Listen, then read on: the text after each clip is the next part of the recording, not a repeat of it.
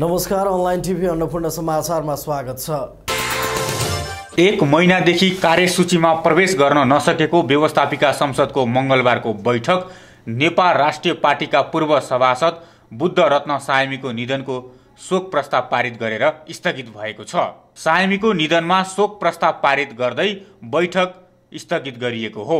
मङ्गलबारको बैठकमा सभामुख उन्सरी घरतीले शोक प्रस्ताव पढेर सुनाउनु भएको थियो। साइमी दुई हजार चौसठी सालको संविधान सभा निर्वाचनमा काठमाडौँबाट समानुपातिक सदस्यमा निर्वाचित हुनुभएको थियो। उच्च रक्तचाप र मुटुका रोगी सायमीको उपचारका क्रममा त्रिहत्तर वर्षको उमेरमा पुस दस गते निधन भएको थियो। संसदले पारित गरेको शोक प्रस्तावमा सायमीलाई क्रान्तिकारी कविका रूपमा व्याख्या गरिएको छ। मङ्सिर चौध गते सरकारले संसद सचिवालयमा संविधान संशोधन प्रस्ताव दर्ता गरेपछि मङ्सिर सोह्र गतेबाट प्रतिपक्षी दलहरूले संसद अवरुद्ध गर्दै आएका छन्। प्रतिपक्षी दलको अवरोधका कारण यसअघि छ पटक र सूचना टाँसेर तीन पटक बैठक स्थगित भइसकेको छ। संसदको काम कारवाही सुचारू नहुँदा स्थानीय तह निर्वाचन र निर्वाचन कसुर तथा सजाय निर्धारण सम्बन्धी विधेयक संसदमा पेश हुन पाएका छैनन्। यस्तै अख्तियार दुरुपयोग अनुसन्धान आयोगका निलम्बित प्रमुख लोकमान सिंह कार्की विरुद्धको महाअभियोग प्रस्तावको छलफल पनि अघि बढ्न सकेको छैन। मान्य सदस्यहरू व्यवस्थापिका संसदको आजको बैठकको कारवाही प्रारम्भ हुन्छ। सर्वप्रथम म संविधान सभाका पूर्व सदस्य बुद्ध रत्न मानन्दरको निधन भएकोमा निम्नलिखित शोक प्रस्ताव प्रस्तुत गर्दछु।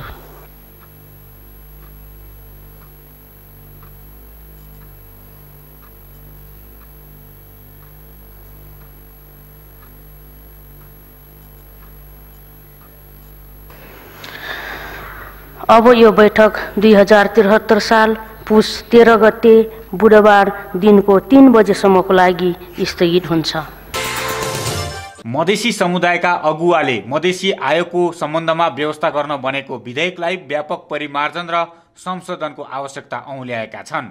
व्यवस्थापिका संसदको सामाजिक न्याय तथा मानव अधिकार समितिले उक्त विधेयकमाथि सुझाव लिन मङ्गलबार आयोजना गरेको कार्यशाला गोष्ठीमा सहभागी वक्ताले सुधारको खाँचो औल्याएका हुन्। मधेसी समुदायको हक हितको संरक्षण सम्वर्धन र सशक्तिकरण गर्नका लागि सरकारले उक्त विधेयक केही समय अघि संसद सचिवालयमा दर्ता गराएको थियो।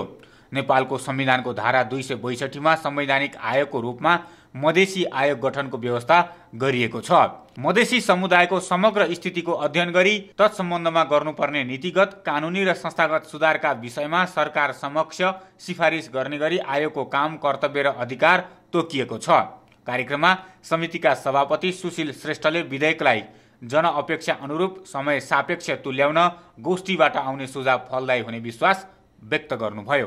संविधानको अन्तिम निर्माण गर्ने बेला भयो विभिन्न समुदायबाट चाहिँ दबावहरू सिर्जना भयो मान्यजीहरूले दबाव सिर्जना गर्नुभयो अनि त्यसपछि आएर यो छ चाहिँ यो आयोगहरू संविधानमा समावेश गर्यो अब यो यो संविधानलाई यो चाहिँ आयोगलाई कसरी शक्तिशाली बनाउने भन्ने कुरा त संवि पार्लियामेन्टको जिम्मेवारी हो जसले त्यो संविधान निर्माण गर्यो हिजो जुनको आधारमा चाहिने त्यो संविधान उसमा के अरे संविधानमा आए तापनि अब त्यो संविधानमा आइसकेपछि त्यो संवैधानिक चाहिँ नि त्यो निकाय हो नि।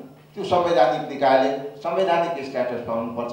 सबै संवैधानिक चाहिँ नि निकायहरूको चाहिँ सामान्य स्ट्याटस हुनुपर्छ। मधेसी समुदायभित्रका भाषा लिपि संस्कृति इतिहास परम्परा साहित्य कलाको अध्ययन अनुसन्धान गरी त्यस्ता विषयको संरक्षण र विकासका लागि कार्यक्रम तर्जुमा गरी सरकार समक्ष सिफारिस गर्ने दायित्व आयोगको हुनेछ। राष्ट्रिय प्रजातन्त्र पार्टीले स्थानीय तह पुनर्संरचना आयोगको प्रतिवेदन बुझ्न सरकारसँग आग्रह गरेको छ।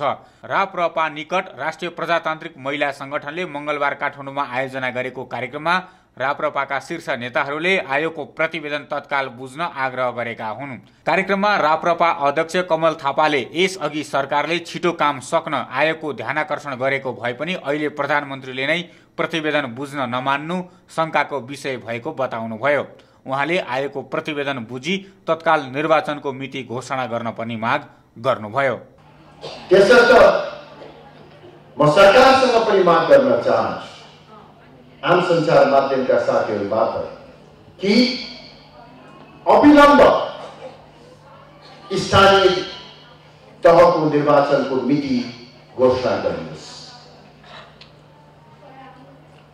स्थानीय तह पुनर्संरचना आयोगले आफ्नो प्रतिवेदन तयार गरिसकेको छ यो कस्तो विडम्बना छ भने केही समय अगाडिसम्म चाँडो प्रतिवेदन तयार गर्नु पर्यो भनेर आयोगलाई सरकारले नै आग्रह गर्यो दबाब दियो। अब जब प्रतिवेदन तयार भइसक्यो त्यो प्रतिवेदन बुझ्नको निमित्त सरकारले आनाकानी गरिराखेका छ त्यसबाट के देखिन्छ भने सरकार कहीँ कतै चुनाव नै नगर्ने सोचाइमा पो हो कि यदि चुनावप्रति सरकार इमान्दार छ भने तत्काल स्थानीय तह पुनर्संरचना आयोगको प्रतिवेदन बुझ्नका लागि र स्थानीय निर्वाचनको मिति घोषणा गर्न म सरकारसँग फेरि पनि आग्रह गर्न चाहन्छु कार्यक्रममा राप्रपाका राष्ट्रिय अध्यक्ष पशुपति शमशेर राणाले निर्वाचन मार्फत मुलुकलाई निकास दिनुपर्ने धारणा राख्नुभयो। उहाँले हिन्दू धर्मका विषयमा जनमत सङ्ग्रह गर्नुपर्ने अडान कायमै रहेको पनि बताउनुभयो।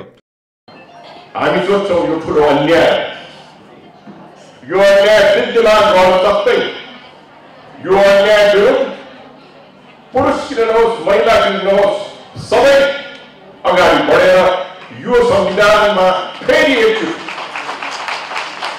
हिन्दुत्वलाई व्यवस्थित गर्न हामी अगाडि बढ्नु परेको छ साथीहरू हिन्दू अधिराज्यको अभियान यो मुलुकमा छेड्नु परेको हामीले यो मुलुक हिन्दू बनाएर छोड्नु परेको यो मुलुकमा हिन्दुत्वको पक्षमा जनमत सङ्ग्रह हुनुपर्छ भनेर हामीहरू अगाडि बढ्नुपर्छ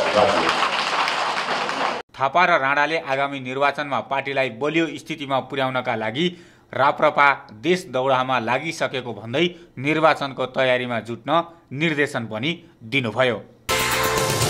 नेपा पार्टीका नेता तथा पूर्व सभासद बुद्ध सायमेलाई काठमाडौँको भूगोल पार्कमा श्रद्धाञ्जली दिइएको छ।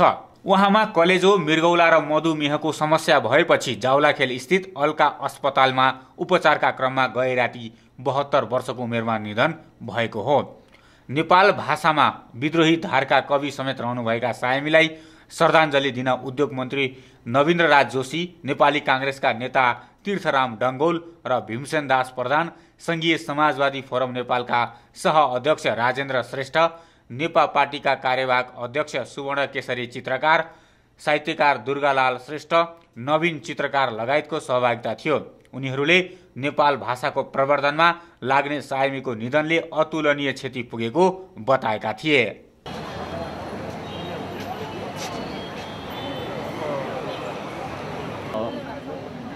क्षमता अनुसार होइन धेरै कुराहरू राख्नुभयो काम गर्नुभयो। यहाँ उहाँ अत्यन्तै लोकप्रिय सभासदमध्ये हुनुहुन्थ्यो। अनि नेपाल भाषा आन्दोलनको अनि कवि पनि भएकोले चाहिँ उहाँ त्यसरी सभासदहरूमध्ये चाहिँ एकदमै अब परिचित पनि हुनुहुन्थ्यो र जस्तो जोजोलोपा होइन आज भर्खर उपेन्द्र यादवसँग भेट भएको थियो।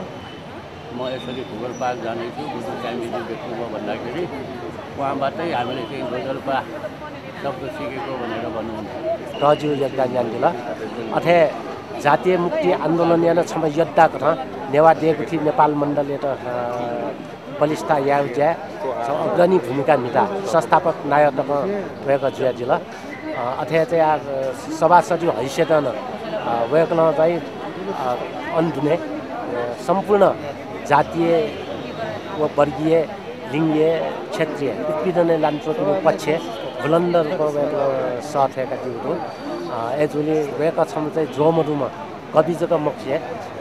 जातीय मुक्ति आन्दोलन व नेवा स्वायत्त राज्य यो पक्ष। छन् चाहिँ अग्रणी भूमिका मिटुमपट्टि नेवा नेलुवा व चाहिँ मुक्ति योद्धा ख। वेक्ल चाहिँ रु लफु पेदिउ ख। हो झि नेवा त्यो लागि मुख्य सम्पूर्ण आदिवासी जनजाति मधेसी अथवा चाहिँ खस शिल्पी दलित फुक्स्यौ लागि छौ अनुकरणीय अनुसरणीय। जो एजुनी वेकै त लुमिङ दियो त मतलब वेकै त श्रद्धाञ्जली दियो त मतलब चाहिँ वेकै योगदान त चाहिँ व्यवहारै छेल्यो विक्रमसम्म दुई हजार चौसठी सालको संविधान सभामा उहाँ नेपा पार्टीका तर्फबाट समानुपातिक सभासद हुनुहुन्थ्यो। नेवा देवगु संस्थाको अध्यक्ष समेत रहनुभएका साइमीले विक्रमसम्म दुई हजार बिसमा नेपाल भाषामा कविता लेख्न सुरु गर्नुभएको बताइएको छ। उहाँका श्रीमती तथा एक एक छोरा र छोरी हुनुहुन्छ। अनलाइन टिभी अन्नपूर्ण समाचार अहिलेलाई सकियो। बिदा दिनुहोस्। नमस्ते।